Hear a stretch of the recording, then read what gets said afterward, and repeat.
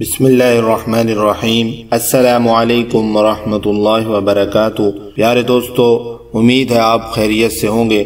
آج ہم بات کریں گے خواب کے اندر گوشت دیکھنے اور کھانے کے حوالے سے۔ اس کی مختلف صورتیں ہیں اور ان کی مختلف تعبیریں ہیں۔ مثال کے طور پر، خواب کے اندر گوشت دیکھنا یا کھانا، خواب کے اندر کسی حلال جانور کا گوشت دیکھنا یا کھانا، خواب کے اندر کسی حرام جانور کا گوشت دیکھنا اور کھانا، خواب کے اندر کچا گوشت دیکھنا اور کھانا وغیرہ۔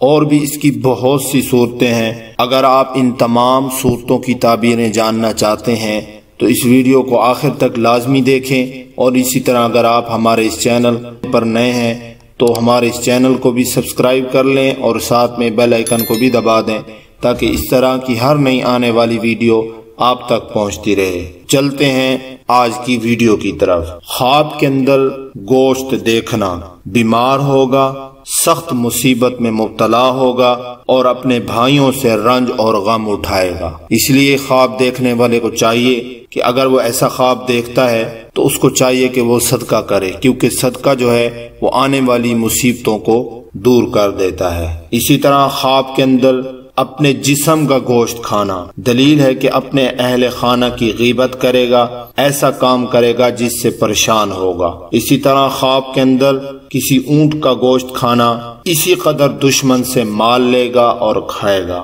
اسی طرح خواب کے اندر بچڑے کا گوشت کھانا اپنے بیٹے کی جائیداد کھائے گا۔ اسی طرح خواب کے اندر بکرے کا گوشت کھانا سخت مصیبت قسم کے حاکم سے مال ملنے کی دلیل ہے۔ اسی طرح خواب کے اندر کسی بلی کا گوشت کھانا نفع اٹھائے گا۔ اسی طرح خواب کے اندر بھنا ہوا گوشت کھانا نعمت اور برکت پائے گا اور خوشی نصیب ہوگی۔ اسی طرح خواب کے اندر بیل کا گوشت کھانا اسی سال مال حاصل ہونے کی طرف اشارہ ہے۔ اگر مریض گوشت کھائے تو یہ اللہ تعالیٰ کی طرف سے شفا نصیب ہونے کی علامت ہے۔ اسی طرح خواب کے اندر پکا ہوا گوشت دیکھنا یا کھانا، پکا ہوا گوشت کباب سے بہتر ہے۔ اگر دیکھے کہ بکری کے گوشت کے کباب کھائے ہیں، تو دلیل ہے کہ کسی بڑے آدمی سے نفع اٹھائے گا۔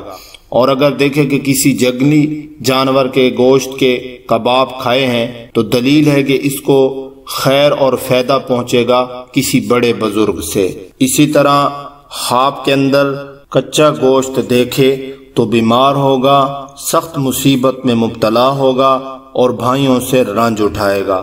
اس لیے خواب دیکھنے والے کو چاہیے کہ وہ صدقہ کر لے، کیونکہ صدقہ جو ہے وہ آنے والی مصیبتوں کو ٹال دیتا ہے۔ اور بھی اس کی بہت سی تعبیریں ہیں۔ ڈسکرپشن کے اندر لنک دیا گیا ہے۔ مزید آپ وہاں سے بھی اس کی تعبیریں جان سکیں گے۔ جزاک اللہ خیر